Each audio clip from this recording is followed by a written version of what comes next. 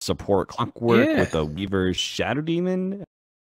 Ember Spirit is no, no, no, no. We can't have Ember Spirit one v one against Sank. Maybe Weaver is going to be this.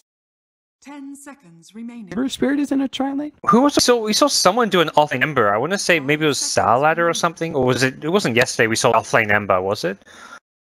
There was one game where I saw a team they suddenly last pick an ember when they had their ca- what their carrion mid already picked. I want to say it may have even been Liquid themselves who like ran an offlane ember spirit, and it was just this very bizarre thing. But the hero, I mean, it's like if you can get your levels in that offlane, you can still be. You don't need to have a huge amount of farm as an ember. Just get some levels, farm off of Seconds. Veil, which is pretty cheap, cost-effective item. Get a blink later on.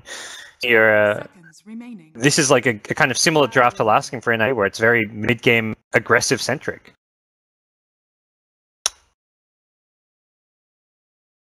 Wow.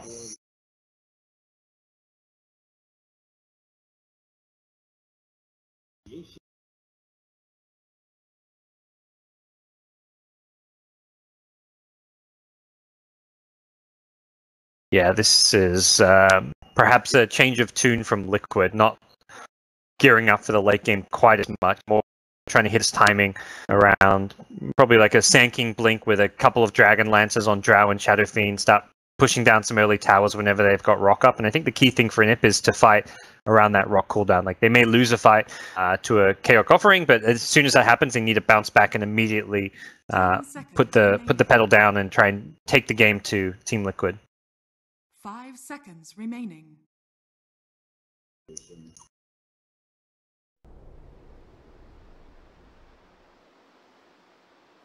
Be doing that off lane Ember Spirit, or if they're going to try and match an aggro tri lane against a Prepare Ranger lineup, uh, Rubik and Warlock as supports that feels uh, a bit dangerous. Era's already heading out to the top lane, and Synderen's going to be escorting Trixie. So maybe we could be seeing some sort of uh, dual lane. Yeah, Synderen on the clockwork, interestingly, but see how he, what he manages to get done. It kind of change of tune from putting Hani on that more five position role and Synderen onto the four, but perhaps just a player preference thing with Synderen being more uh, attuned to playing the, the clockwork. Probably, I mean, uh, the, the more niche pick of the two as far as supports go. Oh yeah, absolutely. We're gonna have early setups here, so yeah, looks like dual lanes. With the Shadow Demon seconds to battle. Ember Spirit against SK. That doesn't uh, feel too bad. You need the Shadow Demon in lane to make sure that uh, control doesn't walk over that lane with Alley. Wonder how Clockwork's going to be able to perform as a support helping out Trixie in the bottom lane, though. Against this aggro tri lane, it feels like a lane that he's not going to be able to find those kind of separations. So unless he's purely here just to cog block, and that's his only real objective, uh, I'm not sure what he's going to be able to accomplish. Yeah, this tri lane seems like the response to a potential clockwork presence down here, and this is a lane which should be pretty decently liquid favored. You're looking at three ranged heroes against a clockwork and a weaver who doesn't have max range himself. And I like this from Liquid because Sand King doesn't need much help against the dual lane. If it's just the Shadow Demon Ember Spirit, he does very well in a 1v2 scenario. He should be able to get some decent farm up here. Shadow Demon doesn't really pressure him all that much. Now the Shadow Poison that it isn't a build, it's been nerfed so much. Uh, Sand King does even better in this 1v2 matchup, so it does feel like all these lanes are, are pretty good. And yeah, Synderen, he does the cogs, he TP's top. I think he realizes like he needs to be up here to help zone mind control. He just tries to give a, a bit of boost to Trixie's lane, and they can now go for an attempted kill onto Mind Control, who is yet to level anything up, so he should still be okay. Cogs push back here into the chains. Maybe he's not okay, goes for the early Sandstorm, and they don't actually have any counter vision. Mind Control Nice. spotted that one out real quickly and sees his opportunity to win the lane just like that. it looked like oh, like ma- I mean, he did make a great play. Got the boots, cut him off with the cogs pushback, so he couldn't even burrow strike out at that point. But mind control with the presence of mind to to save that skill point needs to be careful now because it is on cooldown and they've actually got him. Yep, they've got another Cogs pushback. Mind Oh, control. Actually, no, he just runs straight up Push. and is going to look for the TP out. But with the Flame Guard there, it looks like the damage may still be there unless he can actually juke this one out. Can- Sandstorm Then is he going to run north or south? Because he's got to run one way or the other. He can't just stick around. He's going to run north, try and go deeper into this jungle area. Has the TP skull ready to go, but now Synderen's locked onto him. Has the cogs ready to go with the push if necessary. Mind control goes even farther north behind the tower now. Uh, looks to make his way all the way around the tower, and it might just be good unless. Okay, now he's going to put himself. Yeah, okay. He thought there was some way to make that one through, but not able to do so. And he will get uh, corralled into a corner, and first blood goes the way of Hani. Okay. no, supports get what they were hoping for, at least in the end there. But very, very odd start to this offlane. You can TP right back in and uh, get a decent amount of XP. There's the double range creep on the enemy side, so dearly for mind control, he gets uh, this wave towards his tower. As long as he can stop Hani from getting the side pull off, and it's like he should be able to at least, yeah, keep most of it near himself. Inrin still going for another wraparound. I'm also trying to keep my eye on mid, where uh, currently Qojqva is suffering in CS and actually was brought pretty low earlier from Miracle. This one seems to be going uh, a lot better for Miracle than it did last time again. But to be expected. Yeah. No, it feels like the lane stage is going really good for Liquid. I mean, the offlane Sand King dying is not really the end of the world. He's now got a full level 3 worth of experience at his tower. Uh, the mid lane's being handily won with the help of the Drow Aura. And bottom lane Weaver getting some CS here and there, not really a, an easy kill for the Liquid tri lane, but they've still got the Drow free farming. So as far as timings go, Liquid are going to kind of hit theirs uh, pretty nicely, uh, assuming Nip don't make any big aggressive plays. Well, mind control this time around, Flame Guard's going to be a lot harder to deal with. Does have to burrow strike over the trees. Last time he had Sandstorm, and that killed the Flame Guard relatively quickly. But level two's now up, and a big increase HP for that one. Waiting on Synderen to have his go here on Miracle. See if he can actually get the successful gank leading into a Cogs and uh, a Sunstrike combo. But it doesn't look like he feels comfortable. Miracle holding the right hand side of the lane is going to start pushing forward as he did have vision of uh, Synderen and his earlier. As Synderen tries to get back to top lane, but is a bit too late. Mind control. That's what's coming. Trixie is actually going to be playing up against GH here. Followed that Rubik all the way into the mid lane, but a really good telekinesis throws him over to the other side of the river, which GH probably would have died otherwise. Oh, Miracle gets the Invis rune before Trixie can deny it, so He's in a good position. He may even turn and kill Trixie. Okay, Trixie. One last Shukuchi, just enough mana. Miracle will be more than okay here. With the Invis rune, he can easily escape any kind of a gank coming in. He's actually keeping quite below. I don't think Syndra can really do all too much here. Again, every Miracle's single just... time this rotation spotted out. He may double raze him. Qojqva one and another okay. one coming in. Invis, but oh, oh no, no, the raze misses. He doesn't have enough mana for the mid-range raze, so he actually completely misses out on that kill. Now got to be locked inside the cogs, but Miracle will gladly fight that one out. Telekinesis over the side, and a long-range yeah. raze comes in in time. This time, Miracle finds the kill. Was, uh, Mind control, he's done so. He, uh, every single time Synderen's been spotted out by this ward, which has been so value for them, a lot more aggressively into that duo lane. But looks like his yeah. aggression uh, bites back at him. I Trying to hunt. Yeah, perhaps didn't see this the Sentry Wards brought out by Hani or something, but even so, it still feels like he's getting a decent amount of farm and XP out of this lane, already close to level 5, and, well, it's not really the end of his game that he's died a couple of times, although has set Era up to be in a very good position as far as his farm goes on Ember. Jules come in and found Hani once again, going to put some, some pressure onto him. You've got GH here with the Caustic Finale pop going down. They are going to be able to pick up this kill, and without a support, Era can't really fight Mind Control either. So nice rotation from GH. Well set up by Mind Control.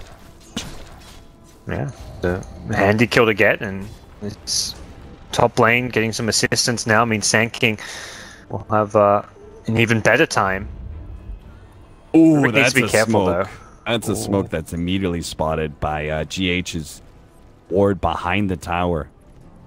May still just have his smoke pop purely by running into GH, looks like.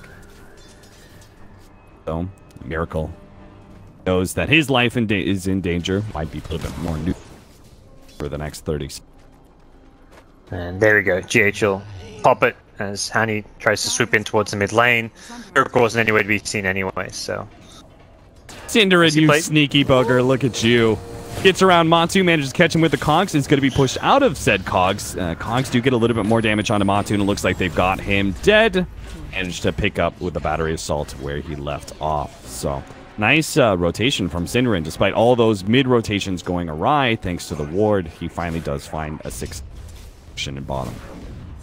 Yeah, that's a nice kill to get. Drow was just kind of free farming away, hadn't really seen any pressure head her way, and one of the hero's big weaknesses is uh, her real lack of sustain and inability to get away from ganks like that. So finally find a way to kill at least one of the two liquid carries and see if they can follow it up with some additional aggression. At some point, they do need to prioritize getting Synderen his level 6. He's still just level 3.5. Bounty runes will help out a little bit, but he may even need like a, a lane to himself just to get that level 6 at some soon.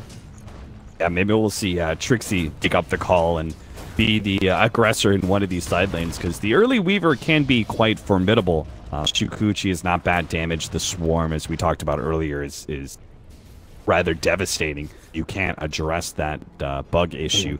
Synderen, they know about this one thanks to the dire scan. He's going to try and wrap into the shrine area to catch Miracle here. Now, This it is is so going to be a little bit of tough, and that's why he needs another TP in. They're going to have the Sun Strike on top of the Battery Assault, and Miracle is down. I'm not sure about that I- big play of I- aggression from him. That was insane. I I mean, it's it's space for bottom lane. I guess he's team's telling him like, all right, we're putting pressure bottom. They may respond to this, but even without the Shadow Demon, I'm pretty sure he dies to that top lane Era. Oh, Era! He's Caustic- got the wand. He's got the Burrow Strike. He's got Oh, him. yeah. That is Now the, the escape isn't really there. Synderen would love this kill to get him towards that level 6. Mind Control can tuck himself in with the Quelling Blade. Synderen ready for it though. Oh no, he doesn't have any mana for battery Oh, assault, so mind control's still going to be able to get away. Alright, he's home free. What a... I mean, there's some very weird plays and ganks coming out, especially that, that Miracle play mid lane is... He's not a player you normally think of as like being divey and going like super aggressive for a kill and trading his life for it. Like Yeah. that's not a mir- that's not a very miracle-esque play. Three, three points of contact. he was Yeah. dead center, right in the middle, right in the middle of that one. But I, I think you're Uh, absolutely right. I think you, you you you said the push down at bottom. They probably made the call. Hey, they're they're probably going to rotate to this. And at the same time, mind control was getting very aggressive at top lane. They figured there's going to be rotations to one of these side lanes. Yeah. Well, it's, the net result is a small win for Liquid. Like they they get a tower, they get a kill at top, and they lose SF mid. Like that's still two out of those, those three things are good for Liquid. And like Miracle gets some money from the tower. They're pressuring the enemy carry. So like the Ember for the SF trade in itself is like a decent trade off, and then you get a tower. So I mean, it's not like the the end result is terrible for Liquid. It just felt like he could have just farmed that wave without diving the tower while those two things happened at top and bottom. Stacking against the Sand King is always a bit of a scary endeavor. Nip are committing their resources to try and clear through this one right now. Mind Control is going to interrupt, and he does have some backup. He's already told the Drow Ranger and Warlock to TP their way on in. There's great opportunities to be had here. The Sunstrike is going to land on Mind Control, bringing him lower, but he is going to receive a heal now. Trixie, low on mana, is going to bring Mind Control a little bit lower, but not low enough to go for the kill. Instead, they're going to pick up GH. Era's managed to lock him down, and they will throw out the Remnant. GH definitely dodges it, but there's only so much you can do on that slow support. Kuro banging the drums in the side, itching for a fight still around this hard camp, but uh, it's already been cleared away by Nip, so lost opportunity there for Liquid. Yeah, Kuro wants to use that chaotic offering. He's trying to find an opening for it. Again, I think it's a similar call where it's like Miracle just play aggro at mid, really span this wave out, start right clicking that tower so that we can either get a tower top or even a fight up top while you potentially get a T1 mid tower. Like one of these two lanes should end well for Liquid, whether it's a tower or a kill. And right now, Mind Control's in a pretty good position to uh, Quelling Blade his way through, potentially even find Hani here. They turn into an awkward accidental bump. Oh, the Hani actually stops the disruption there.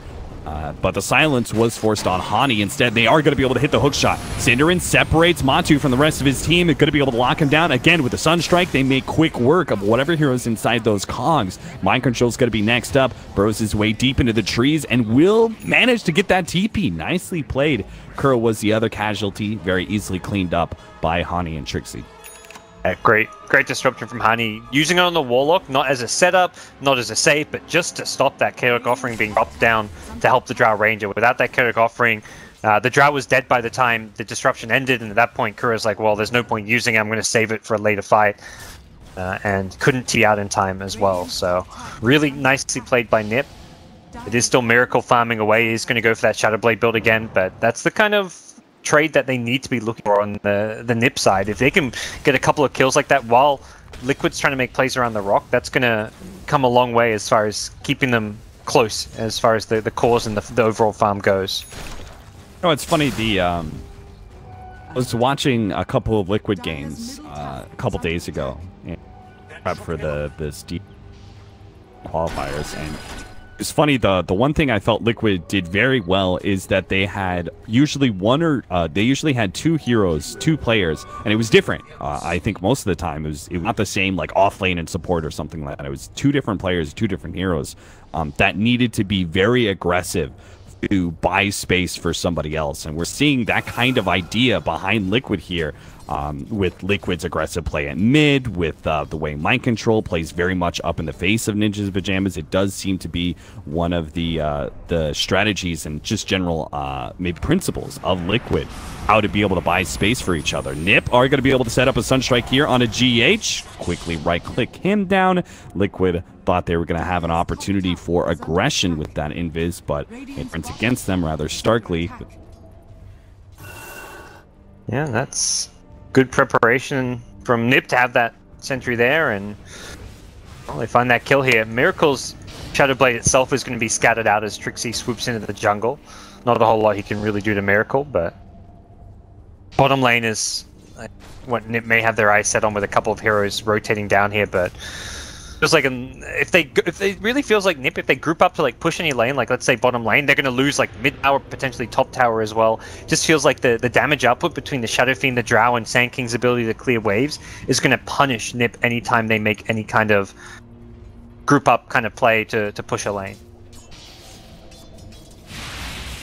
GH left alone in this bottom lane little bit of presence, just keeping this push back. And if Nip commits serious resources to killing him, GH I'm sure won't be too sad. Actually doesn't manage to get the Shukuchi, I think Trixie planning around that one throws out the swarm is uh, one of the plays that Weaver's going to have to do quite a bit here against this Rubik, prevent the steal of Shukuchi. Yeah.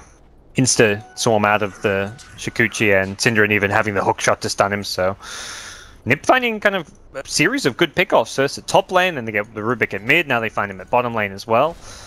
They're finding the kills, and Clockwork having this level 6, and Arcane Boots has this constant sustain and ability to keep going for these kills, and don't look like they're done, but unfortunately without that hook shot, they don't really have the best way to initiate onto Miracle up top. Certainly don't. He takes uh, or Liquid. 3 to 9 right now, 14 minutes in. Nip are well ahead in kills, but it's actually Liquid that are slightly up. Uh, about 2,000 net worth right now. And 100 experience. Uh, first, they do have the very clear tower lead. Liquid have managed to keep all their towers intact. Yeah, most of that I guess yeah coming purely from the Shadow Fiend and his net worth as far as farming the, through the jungle and multiple lanes, getting some towers for his team. But Qojqva doing his best to kind of keep up. Is going to be going into that straight Aghanims build, but needs to be careful not to get caught out here. Miracle is hunting.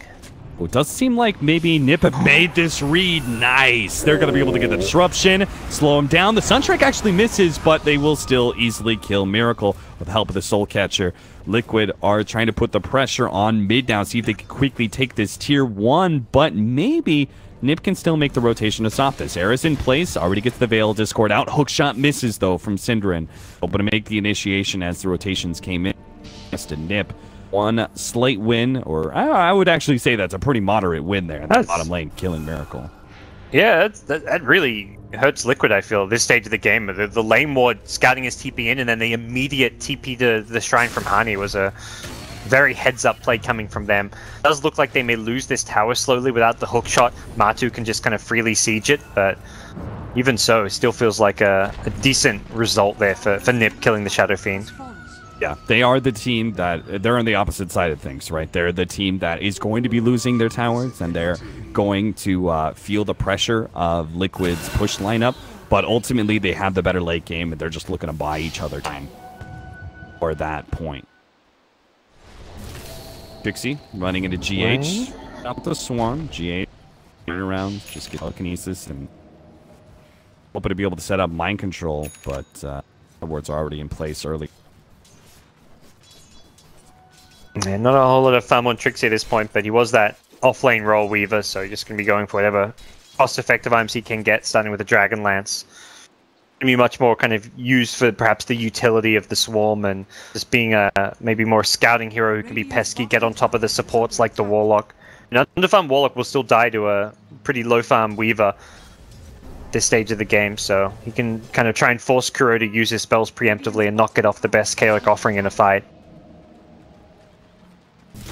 Trixie, hook shot, there it is. They're gonna go straight for GH. Mind control does manage to stop some of that damage. Faked out. Kuro actually holding on to the chaotic offering, seeing that GH was definitely dead and is going to wait for a better opportunity. Maybe Trixie here with the silence up, another stun. Now he's gonna drop the chaotic offering. Synderen comes in, but now the ultimate goes out for Miracle. Era gets bounced back just like that, and Matu actually survives through all of that. Hani is going to be the extra cleanup here. Sunstrike. Oh, he tried to have a guess at where Matu was at in Viz, but doesn't quite hit him. Qojqva not able to get much in return. Nip lose four.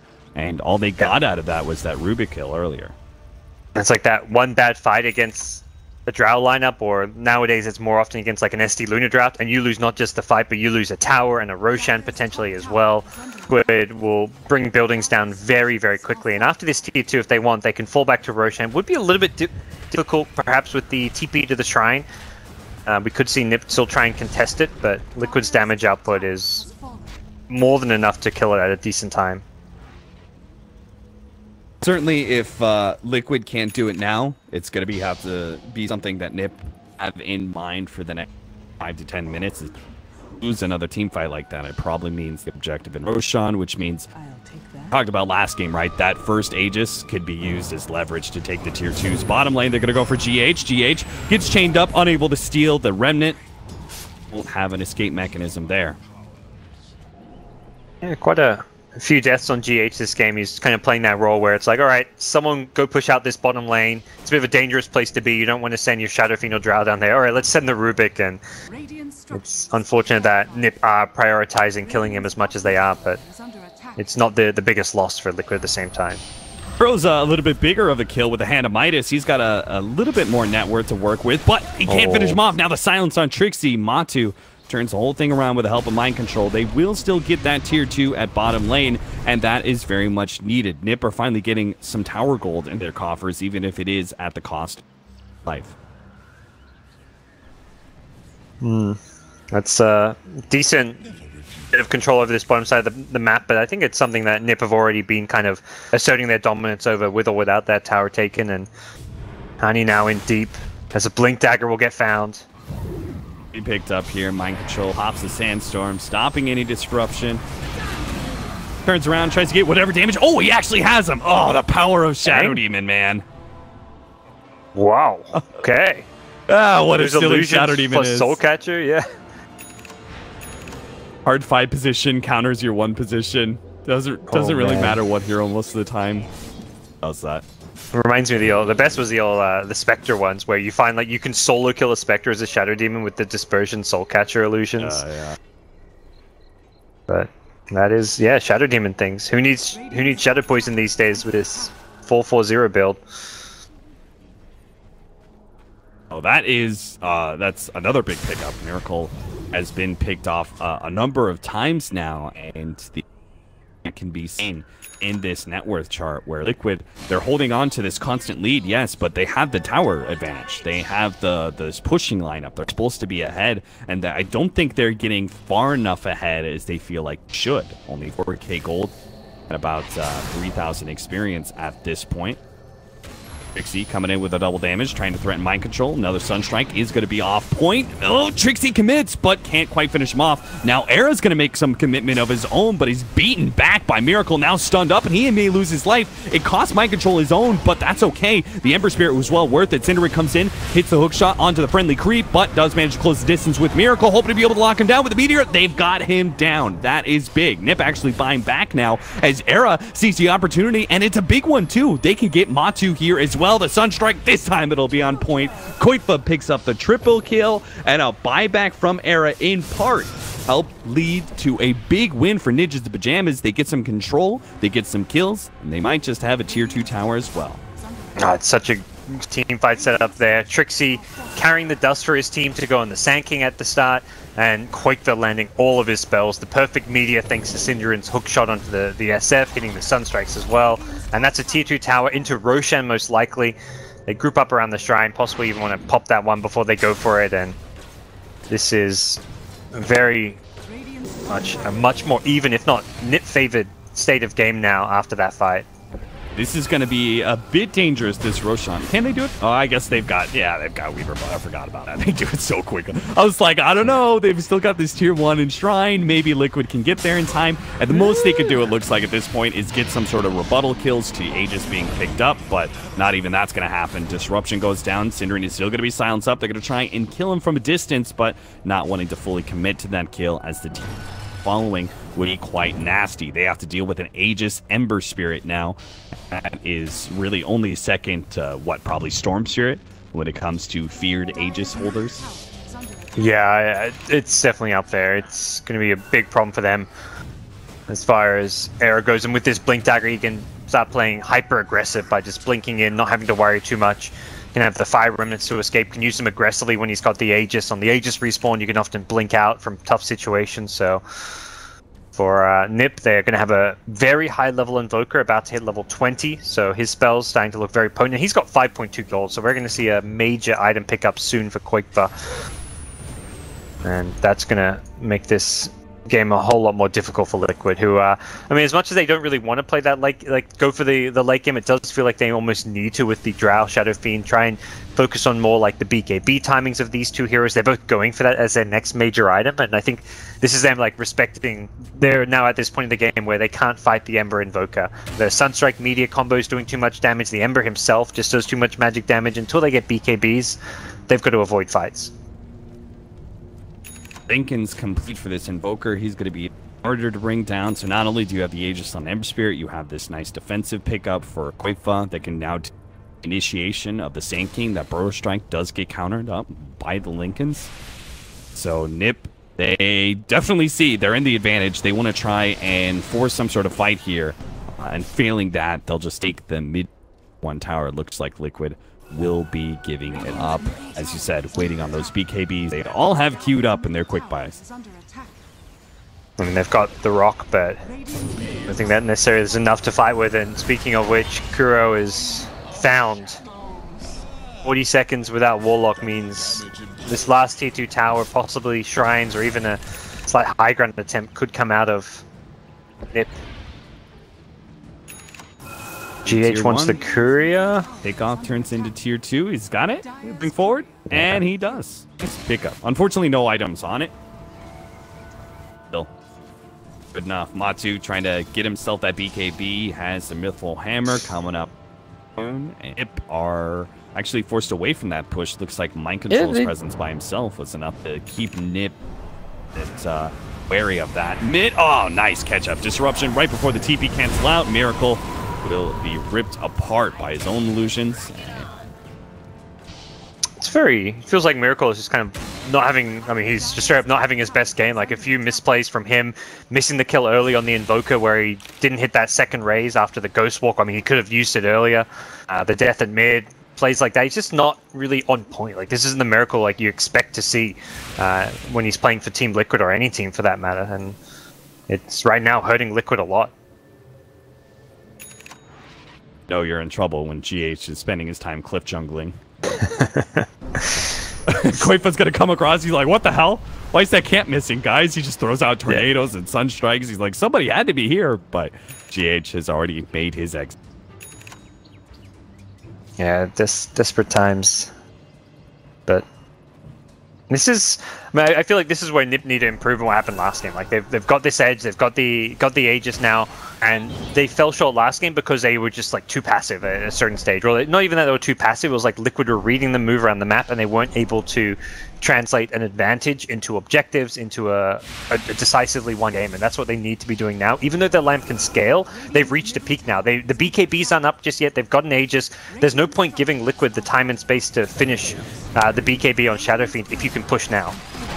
Silence onto Trixie, but they are going to be able to get the Cinder and Hulk in with double inside the cogs. If Eric can actually get inside there, they can lay out some big time damage. The BKB is activated, and now they have the epicenter canner. Synderen tries to make his way back, but is going to be caught by GH into a burrow strike. That'll be a one kill, but Era actually turns back in, tries to go for Miracle, but now he's been silenced up, and he's going to be losing that Aegis unless the disruption save from Hani can buy him some time. Qojqva comes in, nice ice wall there, holding Miracle in place. Era will finally lose his Aegis, but that's okay. They got one big core out of Liquid, and they look to catch more. Mind control gets away. Matu is going to be just as lucky. The Invis saves his life. Another silence, turnaround play, but it can protect their carry without too many issues here.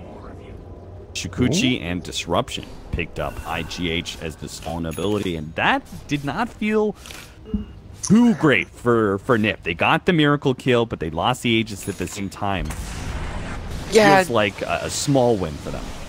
Didn't wasn't the cleanest execution. I mean, the the Drow BKB was the big turnaround point where Liquid could kind of stand their ground and fight. The Warlock not dying in the hookshot meant that he at least got off a, a decent chaotic offering, got the fatal bonds off, and uh, allowed the Drow to just kind of sit there doing some decent damage output. But yeah, Nip killing Miracle again, so he's they slow down his BKB and they can try and take advantage uh, of him falling behind and farm. Invoker is like five 5.6k net worth ahead of SF to cons- to think that like 15 minutes in the game SF was ahead by 2 or 3k net worth. Things have changed a lot, but uh, this is still going to take a bit more from Nip to secure this game. Like they're going to have Quake scaling very well into the late game, but uh, Liquid themselves, if they can get SF and Drow a couple more items post BKB, will be able to fight into the Invoker still. What I did like about Nip, because you're right, the team fight execution wasn't the cleanest. I, I just think on both sides. But what I did really like about Nip was the the way that they were able to make the call, um, whether it was incidental or, or not, to back away from that epicenter. Felt like the mind control's initiation was really wasted. He kind of jumped in, uh, tried to make his burrow strike play. He maybe caught a little bit of damage on the Era and Synderen, but it wasn't hugely impactful like uh, hoping with that team. Yeah. Uh, as a result, Nip come out on top. They're going to have a very farmed Invoker. And this is where, this is the kind of Qojqva that we're, we're talking about here. He is a greedier core, but in part, it's because of his uh, late game performance on some of these scaling heroes that that's the reason he wants to play that way. It's, it is his, uh, in a way, specialty. Level 22 Invoker rapidly approaching level 25. Nip have to be feeling pretty good about their chances closing out this game two and forcing a game three. Yeah, I mean, late game is where Qojqva as a, as a player shines. Like post 30, 40 minutes is where Qojqva is really in his prime when he's got the items to work around, when he feels like he can just do a lot independent of his own team. Uh, not to like discredit him or anything, like he's like a, a solo kind of oriented player, but it's more just uh, his style where he likes to be playing that more farm oriented role, whereas whereas Era is going to be the one initiating, playing around the team, creating the space, and for now Nip to get that Octarine core. Uh, yep, they're going to have it now with level level 22, soon to be level 25 Talon Invoker over maybe like by the 32, 33 minute mark. Uh, they're going to be very, very strong. They don't manage to take any serious damage to the liquid side. I mean, they, they take out one of the two shrines. They've they've managed to get a decent amount done before the SF BKB, but with the SF BKB now complete, Miracle is not going to be that easy free kill in a team fight. Yeah, certainly not. And I think that's where initiation really comes to a point for Nip. If they can still oh. get a good initiation and maybe even a disruption on that SF. Come liquid. Nice Trixie popping that smoke. Well played with the Shukuchi. Will get out, no problem. The shrine will be protected, it seems, by Liquid. They know how important this shrine is above all else to be able to control that Roshan pit. Can't afford to give up another Aegis. Trixie, it looks like he got caught, though. Mind Control and Matu. Maybe it was with the gem of Mind Controls managed to uh, spot him out, get a big kill, and he just happened to force staff himself straight into a ward as well. So, uh, little pickups there by Liquid, setting themselves up for a good Roshan fight in the uh, the coming minutes. And it's just like a, a, good location to fight because you know NIP are there, grouped up as five, and you feel like you can get jump on them, uh, which is something that Liquid haven't been able to do too much this game, and perhaps catch them by surprise. BKB of the Shadow Fiend. Kind a double damage rune now. Ideally looking to, to bottle this one. Not sure if they've... They, yeah, they don't actually have any bottles left, so... Just to pick it up and, and probably take this tier 2 tower mid. Can't take any shrines still. There's still a tower at bottom lane, so they are a bit more limited in their options as far as Liquid go. Miracle starts coming forward. They do have the remnant. They are hoping to be able to jump something, but it's an illusion. They jump instead. Now Synderen managed to get the hook and a force staff away. Still eliminated, though, by Miracle's physical damage. Miracle has to make his way out of this one, though. He's going to pop the ultimate towards the end of his BKB, but on left-hand side, Mind Control's been caught by Era and Qojqva. Now Matu, slowed down by the Purge of Trixie, is going to force into a BKB of his own. Very rapidly, this defensive power of Liquid is dwindling. Matu, he actually managed to get the TP out, but Miracle won't be as lucky. He gets a disruption out from Hani, and the team is just going to Lamb Blast him. With all that damage, they're going to be able to pull him down to his death. And GH very likely to follow him to the grave as well as Hani and Era manage to snatch him out near the Ancients. Three down, all in exchange for just little old Synderen who made that nice initiation. What what illusion was that? Was that a disruption bait? Ah, uh, you mean at the start? I didn't. Yeah. I didn't see what that was. No. I think it was a. I think it was an so? invoker uh, illusion. In which case, it had to have been disruption bait. Gotcha.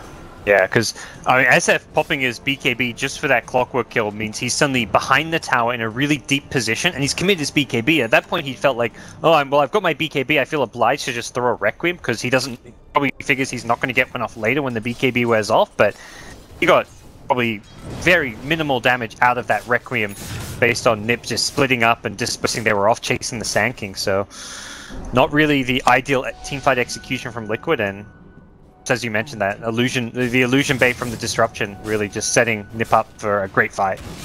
I think Nip have a pretty good read of what Liquid's feeling right now. I think it's Liquid are pretty desperate to make things work. You know, they just got that BKB, they picked up the double damage. You know, there's all these sort of things. It's like, guys, we gotta win a fight right now because ultimately we're a Drow Ranger lineup that isn't pushing towers and an SF lineup that isn't actually farming. This game is very rapidly going down the drain for us, and Nip are just getting stronger and stronger, as can be seen. Trixie, who picked up a diffuser blade not so long ago, now has a fresh BKB coming into the Qojqva. Click on him is now level 23 with that Octarine core and another 2,800 gold to back it up. Yeah, that 25 is coming very, very soon, and he's going to be a big, big problem. These BKBs are getting shorter and shorter as the time goes on. Matu's down to eight seconds. Miracle's only used his once, but it feels like if the next fight or two don't go like convincingly well for Liquid, it does feel like their lineup is going to kind of just be past its its final peak, and then it's going to be all nip in the late game. Five man smoke up. They almost run into Qojqva. They actually oh. burrow strike forward. I think his smoke popped, so he wanted to move forward, but now Nipsey everything, and Mind Control's the one in trouble. Force staffs away, but a nice hook shot. Synderen catches two, but can't get the, the cogs off and just gets eliminated. GH manages to get the quick burrow strike. Mind Control leading Era on a merry chase here with his force staff will finally be brought down. Kuro tried to come in and give him a heal, but now he's in the wrong position against Qojqva and Trixie. He will be duoed up. They actually have the vision of Miracle. He's going to be forced to pop his BKB, try and TP out. He is good. Is Matu going to be able to get away as well? BKB, TP out, no disables, just physical damage, which was still almost enough. GH, he's also going to make an escape with the stolen hook shot got from Synderen. And That's such a bad spot for your smoke to be popped. Like you're low ground, the invoker's on the high ground, and he's invis, and you've just lost your gem. Like Sand King no longer had the gem; he lost that in the last fight. So vision right now is a big problem for for Liquid, and I think they needed to just, I guess, ideally want to approach that smoke differently so that they're not going low ground to high ground. But at the same time, they know nip that top side of the map. They just didn't know that invoker was kind of straggling behind and was going to actually be in the perfect position to catch them out in that low ground position and give his team all the info they needed to turn that fight around. It really was the perfect time, right? Two seconds earlier, they probably run into Qojqva um, before he's past that, that high ground area and is running to the left side, and they actually get a quick pick. And two seconds later, Yeah. Qojqva isn't actually popping that smoke. Yeah, either either of those two, and I think it could have been a very different scenario for Liquid. Like the killing the Invoker scenario is absolutely fantastic for them, and even if you manage to just get onto that high ground uh, without the smoke popping, and then able to take a fight to the left where the rest of the Nip side was, it could have been a very different uh, fight all in all. With like getting mind control with the Burrow Strike initiation, followed up with a Requiem, burst down a target to start things off. But As it stands, Nip now get themselves another Aegis and uh, looking very good to start thinking about closing out this game. They haven't got the best pushing lineup, like the Invoker uh, with the Alacrity on either himself or put it on a Weaver is at least decent push, but uh, the Liquid team fight high ground defense is something they will still likely respect. They're going to have to take it nice and slow. Just where Alacrity on a Siege Creep comes in. Forge Spirits also doing their pushing power. They're going to have Trixie on the front lines. It seems with his BKB and uh, and his time lapse, he should be a uh, decent hero to chip away that tower. Liquid probably shouldn't be able uh, get a quick kill on him and rebuff this push. Yeah, Era's got a BKB, so even if he dies once the Aegis, he can pop that on the respawn, and does feel like Nip, has mentioned, just slow sieging things here. Another Forge Spirit coming in, couple right clicks with an Alacrity, resummon them, and just rinse repeat. Slow and steady. Tower goes down. Boom man smoke on the side is going to wear out. Mind They're control spotted did now. not see his opportunity for an initiation, and now they may actually get caught. That observer ward placed out by Nip. They knew how important it was to be able to uh, to see the rotations across when they go for this bottom lane push. So that ward counter ward combination is a nice setup. Miracle takes a bit of damage here for the cold snap. They're going to pop their first shrine now of the defense of Liquid against Nip. It's a question of how patient will Nip be. At some point, will they try and force a fight? Will they stick a hero actually onto the racks? But right now, it seems like they're happy just to slowly chip at the range racks. GH throws out that stolen hook shot. Like it Very was uh, out to fade anyway. And Nip are actually going to back away for a second here, and Era's going to deal with that top lane push. No. Very hard to initiate onto the Nip side. They've got that Shadow Demon who's just always sitting behind, has that extra cast range from his level 15 talent, can just put someone down in disruption. And GH at this point just kind of showing off as he's a bit bored. He does lose the hook shot now. All right, Nip's got that uh, top lane pushing out again. Era will rejoin his team. Their five-man efforts into I'll take that. I mean, if they can just keep on stalling this out to the A's, I mean, they've still got another minute and a half, but at this rate, they, they won't even take a melee racks in that minute and a half. Nip need to make a more concerted, aggressive attempt. Not even onto the buildings necessarily, even just starting and forcing a fight with a, a hook shot. Maybe something they just have to do at some point. For now, they're just trying to slow siege using disruption illusions. Trixie gets a little bit more aggressive with the alacrity. Will finish off that range racks, but it is just a range racks. Liquid won't be too scared of that. It's the melee racks. That is the price then. Aging bit by bit is not good enough against that regen. So we'll see if they make the concerted effort here as the push comes forward. The disruption. Even backdoor protection still up. Matu will take a decent amount of damage, down to half health now as Trixie comes forward, pops his BKB, threatening Matu's life, but he does get a four step back. Now with Matu healing, Nip can get some more damage onto that melee racks, but the rest of Liquid start coming forward, chasing Nip back. And they're struggling to get this racked. I mean, they're they're still in a fine position. Don't get me wrong, but quit are making them work for it, showing some world-class high ground defense with the SF illusions. Oh, that's definitely a big The one. uh, uh, like, not putting it onto the racks, they will get taken out. Just zoning the SF out, knowing that this will free up the space. Oh, there it is. the up initiation. Epi onto Qojqva, but the Linken's managed to protect him for the Burrow Strike, so there wasn't any real good hold. They finally get a Yule Scepter onto Qojqva, but he managed to get down to way with a Ghost Walk. Oh, Synderen. He was halfway through the hookshot initi- uh, the uh, animation to be able to get away from this one. Mind Control has been stunned up. Does get out another stun, but Qojqva blocks it again with the Linken's. And now they've got a disruption onto a Drow Ranger with Miracle slow down on the side. This is rapidly turning disastrous for Liquid as they come out immediately get rebuffed. They just get taken out like that with a Meteor combination. They lose Matu. They got to drop GH as well. Miracle's left alone now to defend against Nip unless they want to buy back on Matu. Earl still having the chaotic offering, but it seems like they'll give up the melee racks and try and keep these buybacks intact, or at least waiting for a better opportunity when Mind Control and GH are back up. But all during that 30 seconds, Nip can take a lot. Even with the buyback, they still want to take this racks in mid lane. They've taken at least the tower, and with the Alacrity Invoker, they can take more. Miracle comes forward. Now the chaotic offering. They look to blow up Qojqva. They've got him dead. 90 seconds down. But Nip have bought everything they needed with that Aegis push. They forced a buyback. They got a lane of racks. They really don't need more. So a full retreat out from them. Make sure Liquid don't catch anything else but the Qojqva death.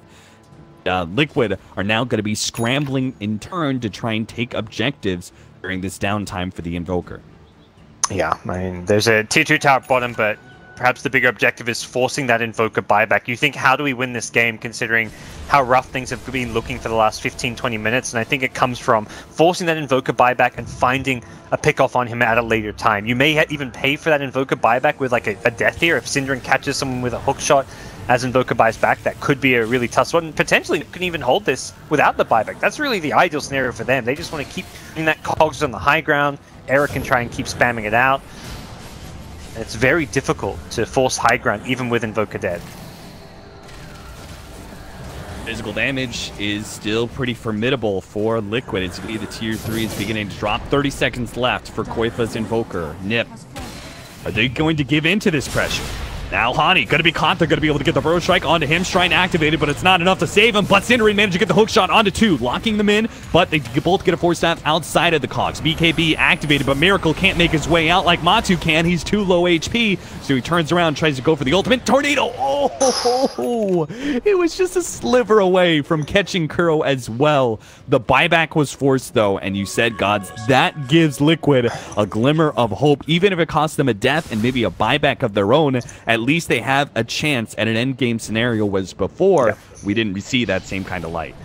Yeah, it, it creates a win condition for them, which is what was just completely, it seems, lacking for the last 20 minutes. It feels like they've just been unable to really do a lot. Quicks has been quietly farming his way to level 25, 6 slot Invoker, but now we're looking at potential SF buyback. They're going to be on the ropes themselves with an SF buyback, but at least a kill on Quick that could set them up for success. Force staff over the cogs, then a push back. Now, Era actually commits here forward with the BKB. Double remnant use. Kuro, he's going to be caught inside the shrine. He's taken apart. Synderen, similar story here. He has a Ghost Scepter to fall back on. A disruption, hook, but hooks into his own illusions. Won't be able to make it out. Mind Control gets taken out, though. Trixie's up next with the silence. Not able to do enough, though. Matu can't output the damage. They're trying to hold on to this buyback of miracles and use Mind Controls instead, missing out on the stun on Trixie. Now Matu in serious trouble. Gets silence up, push back. The combination is there, but a disruption save from GH is not going to be enough. A tornado catches Matu on the way out. Trixie will help clean it up. Now they're left with no buyback on the Drow Ranger for 90 seconds, and it seems like that win condition, that small little opportunity that Liquid have, now closed. They're going to come back in the SF, but they will still have to fight this one at bare minimum. Four versus four. Jump in, epicenter combination, and pulls out Trixie.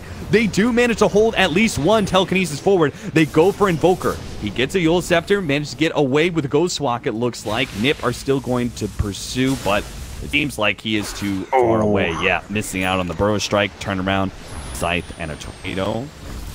Strike? No, Mind Control's not out low. Yeah, he had the Linken here anyways for the, the bar check was close, but then I'm like, all right, uh, Dexy, that wouldn't have mattered too much, but This is well. I mean, there's there's still some small hope for Liquid. You've got an Invoker without buy. I think if you give Nip the space to get those buybacks back up and another Roshan, then that hope disappears. But this like one minute window where there's they're gonna have Drow back alive before Rosh respawns. Luckily for them, it's a very slow Rosh respawn.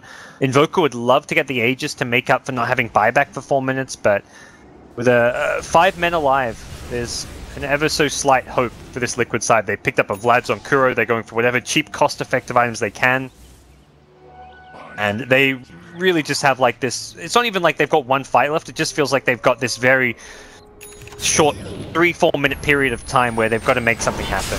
Miracle felt like he had to scout out Roshan, but now he's low with the BKB. Pops the BKB, lets it out, does force Synderen away, but that's now a big team fight ultimate that's on cooldown. Miracle still is yet to make a full escape if he's not careful. It may be able to take advantage of this one. Roshan is still not up. Liquid very rightly feared that it was already up and Nip were doing it, but unfortunately for Nip, they're going to have to wait for a full five on five to be able to take that Aegis. Luckily, SF even gets a chance to heal up a bit more, or uh, this potential Rosh fight goes down. A Ranger, though, still trapped at this bottom lane, which is a bit of a issue for Liquid. Tries to push the lane out as much as he can before this fight is gonna bit of a dancing game there between Mind Control and Era. Era, who does not have a Linken's, a little bit more susceptible to that initiation. Combo stuns Yeah. from this- Liquid. Nip, I like this play a lot. They're going to take the Yeah. high ground where the former Dire Shrine was, and it's Liquid who are going to now take the low ground with their smoke out. They run into Hani, manage to get the initiation there, but it's just a support. They can bring him down. Almost no one gets a force staff to the high ground. Synderen pops the Ghost Scepter, and their initiation from Liquid doesn't actually catch anything. Now Mind Control stuck out in the high ground. He's done for. Era comes in big, gets a lot of damage on Matu, tries to go for a desperate TP out, but doesn't actually make it. With this high ground advantage, Liquid can't output any damage. Kuro, he gets a force staff to the high ground, quickly followed up by Trixie, takes him down. Triple kill for the Trickster. And now it's going to be Nip. All five man up, three down on Liquid. None of them have buybacks. This should be Megas. Yeah, they're going straight for the racks. They'll even fight their way through backdoor protection if they have to, and well, it's not even activated as not sure what creeps from the base, but hey. At this point, I don't think it really matters as Nip will, uh, in theory, secure themselves this Game 2 victory. It's not quite over just yet. Liquid will make them play it out as they do threaten to go for some split push in mid lane, but throne play is going to be the end of Liquid if they don't come back to defend. The uh, stolen disruption from GH will give a lot more credibility to this push as backdoor protection is down from a single range creep and siege creep, but tier 4 is already dead and these heroes are being threatened now by Hani alone. Throws out the ultimate miracle. He knows the end game is nigh and Throne is going to fall. That's it. GG is called. Liquid lose game number two. Ninjas Pajamas tie the series up, and we're going to go to our first game three in the DAC European qualifiers. Yeah, that was a very solid Game 2 showing.